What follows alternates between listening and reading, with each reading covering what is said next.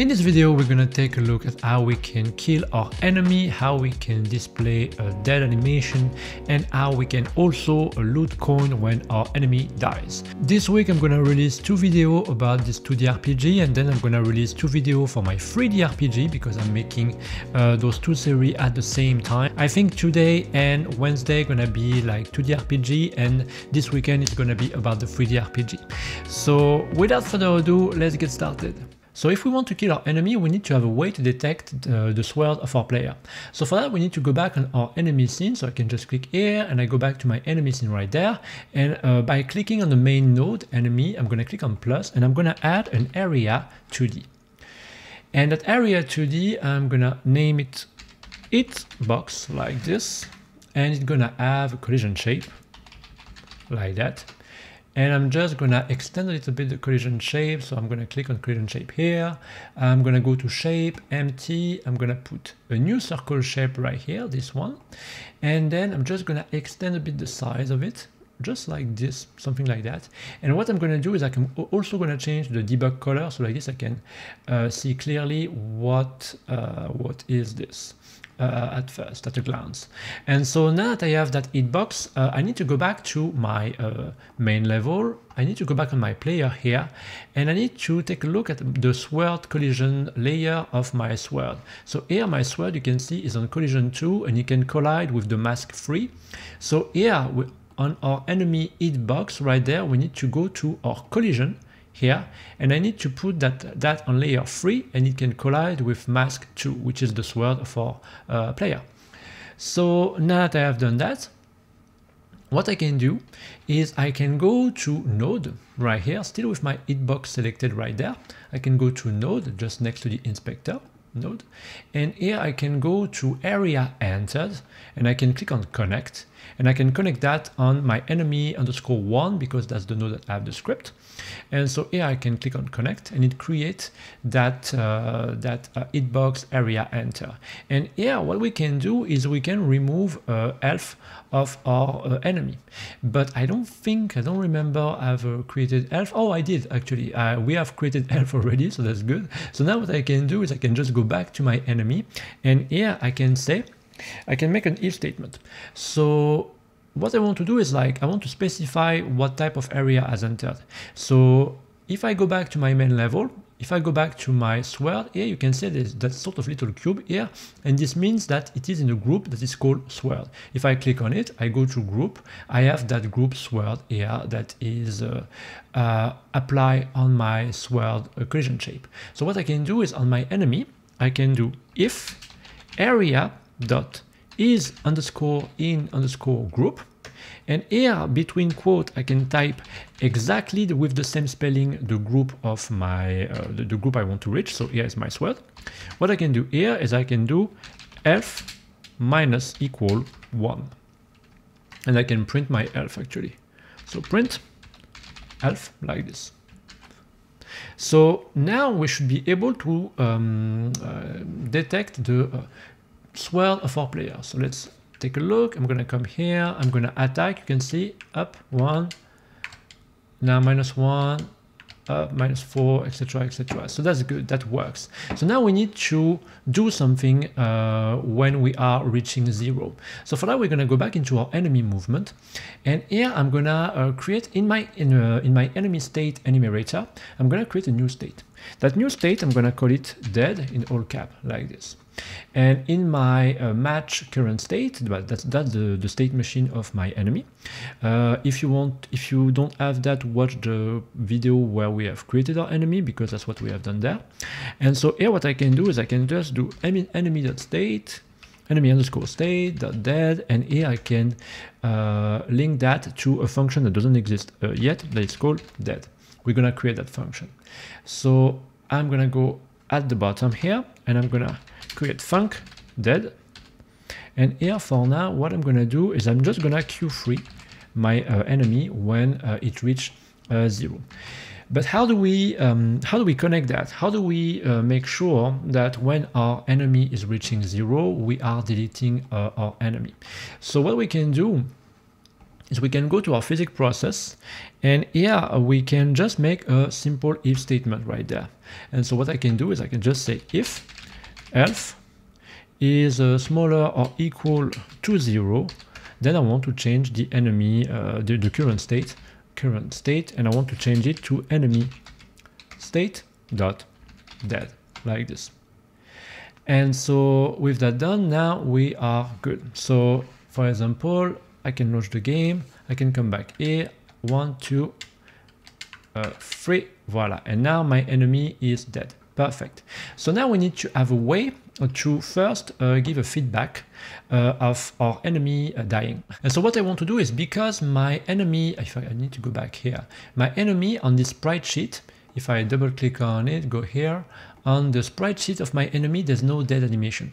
And it's on purpose because I want to show you another way that you can use for optimizing uh, your, um, your game. So for example, maybe you don't want to have to draw every time like a, a dead animation for each uh, character in your game. So maybe you want to use the same one over and over. And so that's what I'm going to show you how to do. So here we're going to click on a new scene. We're going to click on plus and here I'm going to create a new scene 2D scene right there. And that 2D scene, I'm gonna call it dead underscore fx. And that dead fx here, I'm gonna attach to it a sprite 2D. And I'm gonna re-click on my dead fx and I'm gonna attach an animation player. This one. Ah, no. animation player, voila. So that animation player, I'm gonna rename it anim, and that's gonna be it. Uh, so anim, voila.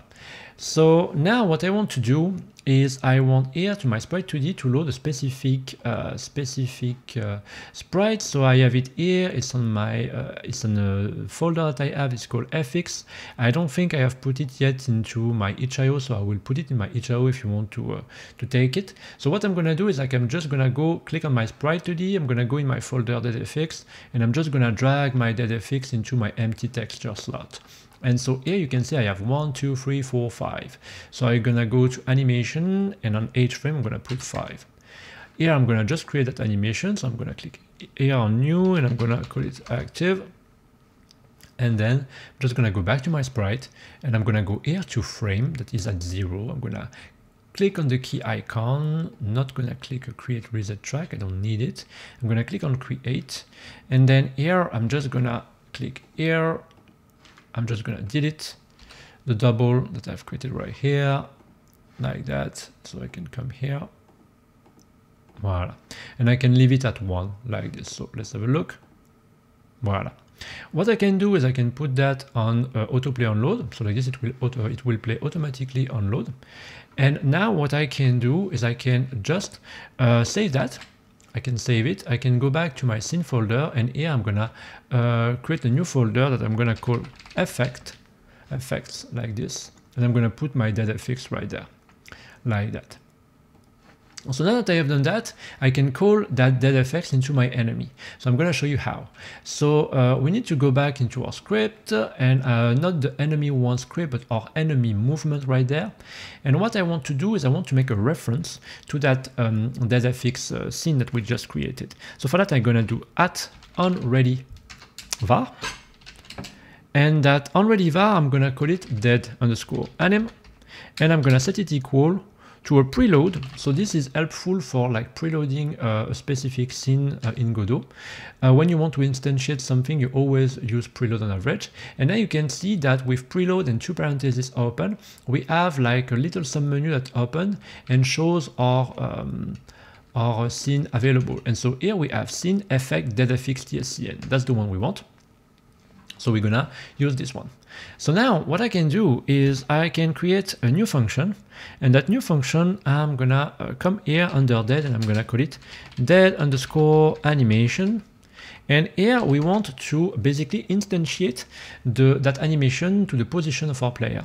So what we of our enemy. So what we want to do here is we want to create a new variable inside that.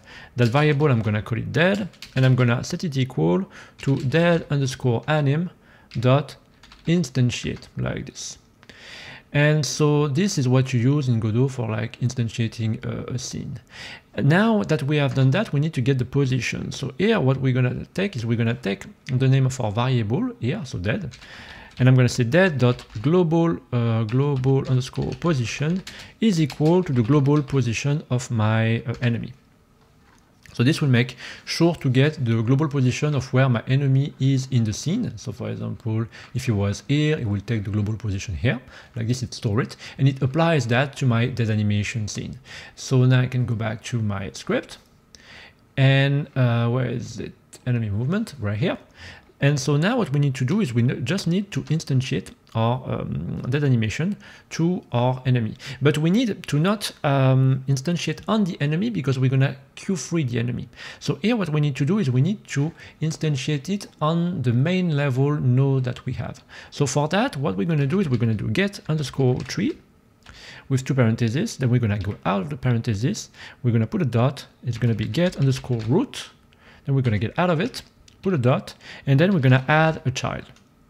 So here we're gonna add child, this one, and between parentheses, we're gonna put our dead fx.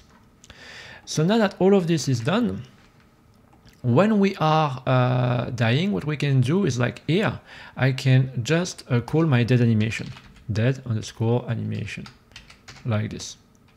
And so now it will work. So let's have a look. I come here, I just give like this and you can see my animation has played and my enemy is deleted, which is perfect. So now we're going to do the same things, but for making a loot. We're going to loot a coin when our enemy is uh, dead. So for that, I'm going to go under func dead uh, animation and I'm going to create a new function and I'm going to call it loot underscore coin. And uh, here I'm going to do basically the exact same thing. So what I'm going to do here is first I need to create um, uh, a reference to my coin. So I need to go at the top of my script and I'm gonna just do at onReady var.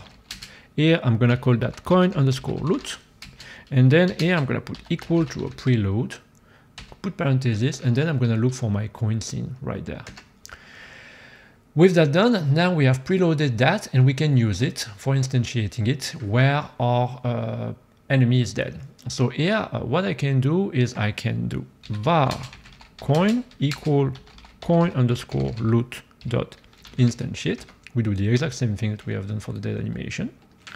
Then here I can say uh, coin dot global global underscore position is equal to global position. So like this will make sure that we are at the same place. And then we can just get underscore tree uh, dot get underscore root. Dot add underscore child. And between the parentheses we put our coin. And so now we can put it here if we if we want in our dead animation. Or we can put it also into our um, dead animation right there. So what I'm gonna do here is I'm gonna uh, go here and I'm just gonna uh, put loot coin like this so now let's have a look. I come here, I kill my enemy, and now I have a coin that I can uh, pick up. So that's good. So that's perfect. So now we have like all the basic for like um, killing uh, killing our enemy, and we have also the basic for like adding coins. I just want to do something with my coins. I need to come back here, need to come back on the scene, and I'm just gonna increase the collision shape because the collision shape is a bit too small. Voila, like this. So now that will be good. So now I can come here. Voila, I can select. I can pick up my coin like this, and that's good. Voila. So that's cool. So now that we have done that, we have done a lot of things already into that, uh, that tutorial and we're going to continue in the next video. In the next video, what we're going to do is we're going to create a shader that uh, going to help us to have a feedback when we are hitting our enemy. Basically, our enemy going to be uh, all white and for like a, like a split second. And uh, our, uh, we're going to do the same for our player. Our player also going to turn like white when you get a shock, when you get like a, a, a collision from our enemy. So like this, we will have visual feedback. That's what we're going to do in the next uh, video. So that's it for me, I hope this video has been helpful for you. If it's the case, don't hesitate to give a like and subscribe. And me, I want to thank you for watching and I will see you next time. Bye!